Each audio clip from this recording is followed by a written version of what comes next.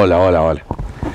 Bueno, Diego, Teresa, ante todo felicitaciones y, algunos saben, otros no, pero eh, para la gente que está mirando, que por ahí dice, ¿por qué felicitaciones?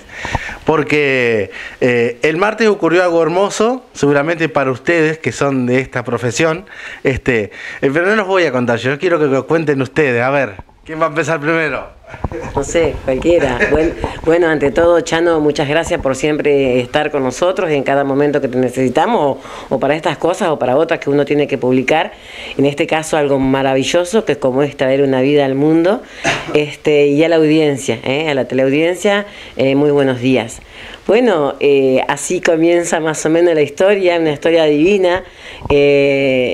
7 de la mañana, yo ya estaba despierta por otros motivos y escucho el llamado de Diego Castillo, eh, del licenciado y compañerazo Diego, sí, que lo tengo que, destacar.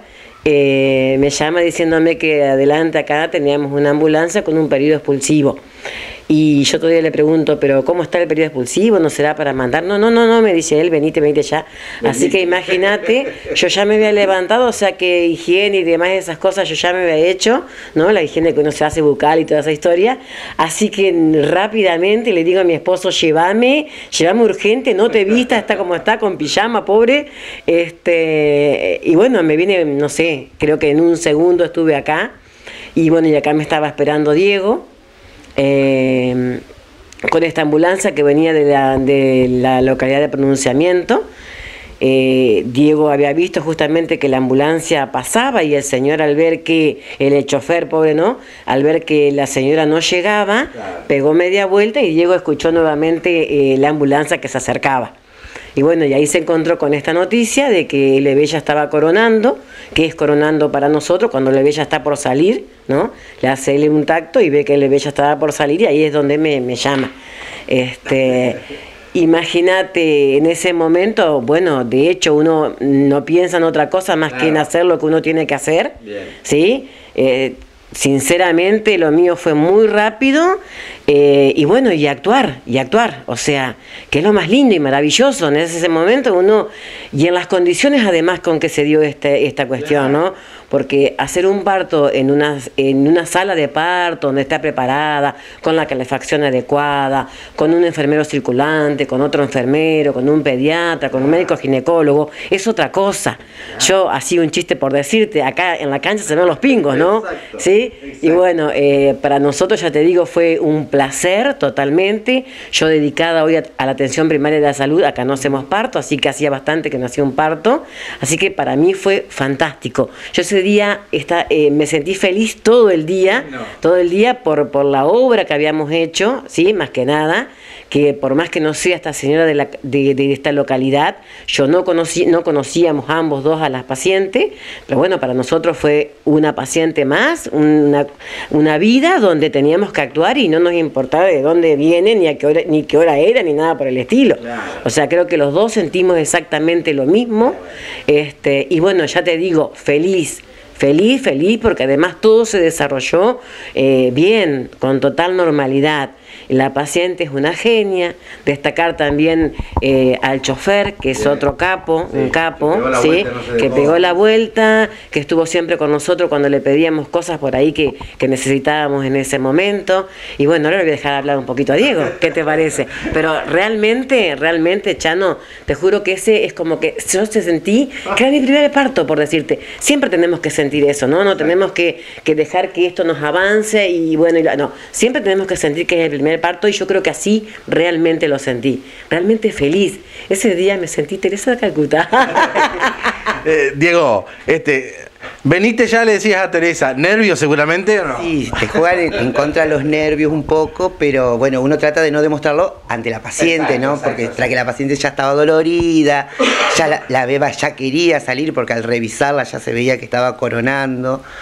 Eh, ni bien la, bajo de la ambulancia llamó a Teresa, ya preparó la caja de parto y ya la cargo arriba también porque ese bebé nacía sí o sí. O sea que nació al frente de, centro de salud. Bien acá en frente del centro de salud. Así que eh, le dije a la paciente que aguante, que no puje. Y cuando la veo que baja Teresa, le digo, bueno, ahora sí, relajate, pujá. Y nació la bebé, lloró espontáneamente. Ah, cortamos cordón, le hicimos los primeros controles, la beba divina, vigorosa, eh, con un APGAR hermoso, una frecuencia cardíaca linda. Eso digo. Te decía, no es lo mismo, obviamente no es lo mismo tener todo y tener acá. ¿Cómo, son los pasos que tiene que seguir? Porque tiene, seguramente deben, no, deben ser los mismos. No, no, no, totalmente, no son los mismos. Es más, eh, nos reíamos hoy después con Teresa porque yo cuando eh, agarro a la bebé para hacerle la recepción, la pongo en el banco de, enfrente y no me había dado cuenta que estaba la campera de ella. Pero era de los mismos nervios para termorregular a la nena que no pierda la temperatura, porque nace de un ambiente caliente. Convengamos que el martes no fue un día cálido, hacía, estaba fresco, eh, más allá que la ambulancia estaba todo cerrado, todo, eh, en realidad eh, quería seguir termorregulando la, la bebé. Entonces la, la, empiezo a envolver con mantas, a secarla con mantas, a limpiarla, a darle calor. Eh, justo arriba de, la campera de Teresa, no me había dado cuenta que estaba la campera de Teresa ahí. Este, pero bueno, fue todo muy lindo, muy lindo, porque después más eh, la, prendimos la teta a la, bebé para que ya, ya se vaya relacionando con el tema de la lactancia y todo eso. Le explicamos a la madre. Eh, y bueno, nos fuimos yo y Teresa, la llevamos al hospital, pero ya con el trabajo realizado ya. Porque ¿La acompañaron los dos? Sí, fuimos los dos. Sí, sí, fuimos los dos. Le, han felicitado ya también. Por supuesto, sin duda, sin duda, porque no se ven mucho estos casos. Eh, no se ven muchos estos casos y además, eh, digamos que a, nacimiento lo hicimos acá. En, la ambulancia, pero, pero la ambulancia, ¿no es cierto?, parada, digamos, como estacionada, hablando bien. Y después eh, el periodo expulsivo, el periodo, el alumbramiento, que es la salida de la placenta, la hice en el viaje. La hice en el viaje porque, bueno, habían transcurrido ya unos minutos y bueno, para no quedarnos acá, eh, la tuvimos que hacer, sí, la hice en el camino mientras Diego hacía toda la recepción del recién nacido. No, no, ya te digo, también destaco la labor que siempre nosotros partes necesitamos al lado siempre un enfermero, es nuestra mano derecha y en este caso fue Diego, que, que le doy las mil gracias por porque estuvo atento y alerto a todo. Y como dice él, nosotros haber, eh, haberla aprendido en ese momento, también al contacto, más que nada que sabemos toda la importancia que tiene eso, ¿no? Del primer contacto hacia la mamá y con la teta, realizados totalmente. Eh, y bien, bien, bien, gracias a Dios, bien. Recién decías que la madre se portó de 10 también. Sí, sí, sí, la mamá colaboró muy bien. Si, si bien, obviamente, que para ella ver caras nuevas si llega al hospital bien, ¿no es cierto? Son caras nuevas, pero bueno, este también implica que en ella ocurra algo que, que le dé cierta incertidumbre, ¿no es cierto? Pero bueno, no. Eh, te cuento otra. Eh, ayer, eh, anoche, Diego recibió unos mensajes, recibimos mensajes enseguida del otro chofer dándonos las gracias y todo eso, porque ellos hacen 15 días y 15 días, y bueno, justo le tocó a este pibe, ¿no es cierto?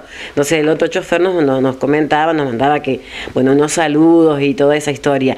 Y además ayer le escribió el papá del nene a Diego diciéndole que la nena se llamaba Teresa porque imagínate, doble emoción lo mío, ¿no? Porque en ese momento ella nos contó de que esperaba un varoncito, de que no esperaba una niña, y después preguntábamos todo, bueno, ¿qué es? ¿Qué es? Cuando Diego estaba haciendo la recepción, y bueno, obviamente Diego haciendo todas sus urgencias, primero no, no había mirado el sexo todavía, y no, era una niña, fue una niña. Entonces le digo, no tenés nombre entonces para la niña, porque si esperabas un varón, me dice la chica, no, no tengo nombre, bueno, Teresa. Teresa del Carmen, aunque es un nombre horrible, le digo, no, y tal cual le puso Teresa, no, así que imagínate, súper feliz. El papá conmigo eh, para darnos las gracias, ¿no?